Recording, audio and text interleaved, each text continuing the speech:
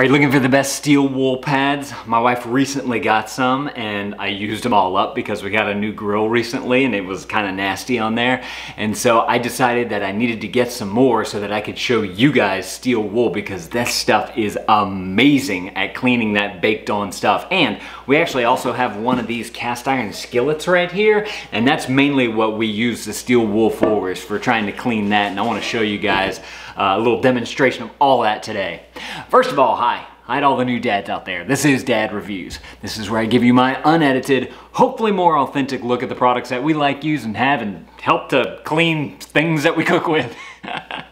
so if you're interested in that, you might want to consider clicking that subscribe button. So as I was doing some research for this video, I actually came across steel wool for like headlights and windows and all this type of stuff. And I was like, wouldn't that scratch up those surfaces? So that's something that I still need to investigate a little bit more on. But in this box right here, we have some steel wool. And there is some, some steel wool on the market, like there's an SOS brand that um, I, think it has like some kind of detergent or soap in there. And so there's, uh, we use the steel wool usually without any type of soap especially on the cast iron skillet because you don't want to get uh, the soap kind of mess up the metal and whatnot. So, um, so we use the uh, just the steel soap and we usually use like some olive oil or something on there.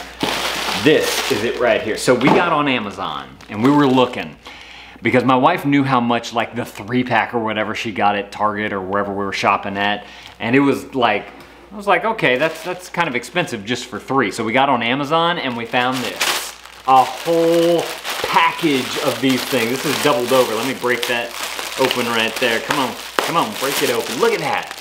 Look at that. Look at all that steel wool in there. They're each individually wrapped too. That's super cool so that they, they don't like get mixed up with all the stuff. Can just kind of throw them in a bucket or whatever. If you guys want to check these out too, I'll link them up down in the description below. Y'all can go read other people's reviews about it, not just take my word for it. But don't click off yet. We got to get to the demonstration and everything. Let's see, we're doing a bag and a bag here. And I'll go ahead and pop one of these guys out. And let me put that right there. So this is the steel wool here. It looks like a little sponge just made out of steel. How do you open this thing? There it is. And so whenever you get it out, there it is, little, little round like cinnamon roll looking thing. and so you can kind of stretch it out if you want to, if you want to like be able to get your fingers in there to be able to like move things around and whatnot. So uh, it reminds me like a like a slinky. Y'all remember slim? These are like little tiny slinkies right there. Can y'all see that? Look at that. so whenever you're going to clean something metal or possibly like windows and plastic see-through things like headlights, um, you take this and you just simply scrub it on there.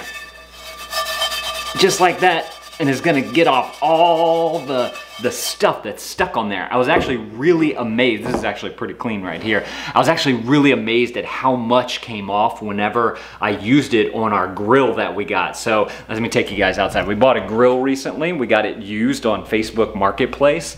And I was a little leery about it because it looked like it needed a little bit of cleaning. And I think the guy cleaned it up a little bit before we came, but he uh, it still needed a little bit of work done to it. It's a Weber uh, grill, so most of it is aluminum.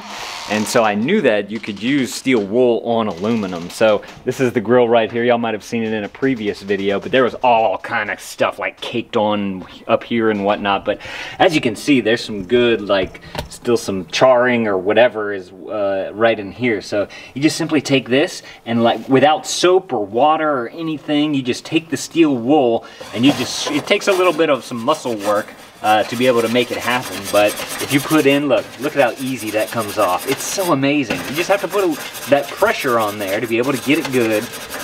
And since it's so like malleable, because it moves and shapes to whatever uh, space you need, you can really like get in there and scrub, get in there and scrub, and it just, it, it's like it just comes off like magic. I never really thought of steel wool as being a thing that I would use. I never, I guess I never really like understood how well it works, but after using it here, I am a steel wool fan, especially for barbecue pits. I mean, this thing, look, y'all can see the, can y'all see that difference right there? Let me zoom in. So there's this right here. This was the like the original look, and I used steel wool to get it from this color to this color. Let's see if a little bit more comes off right here. Look at that. It just comes right off. If you guys want to check this out, I'll link it up, like I said, down in the description below, and y'all can go read other people's reviews about it. But I mean, you're seeing me do it right here with this super cheap package. I mean, you got a bulk pack there of steel wool. If I wanted to, I could go throughout this entire barbecue pit and do the whole thing. I did it all in the back right there, you can kind of see. Uh, but it just works extremely well, and I highly recommend that you get some steel wool if you don't have any steel wool in your house as a good cleaning agent because it just, it does the job. That's what you want. I'm always looking for the best thing that's gonna do the best job for you, and that's what I've found here. If you guys wanna see the uh, scrub brush that we use for dishes. I know this may sound a little crazy, but uh, that is the best scrub brush that I, in fact, my wife was trying to throw it away and I said, no, go get that thing, put it back on the counter. We're gonna use that thing. And I did a review of it right here because we've had it for two years. It's a two year review. Go click that video. I'll see you on that video. Thank you dads for watching. Whenever I get this barbecue pit, uh, video done, I'll put that on the screen there too. That thumbs up is always appreciated and dad out.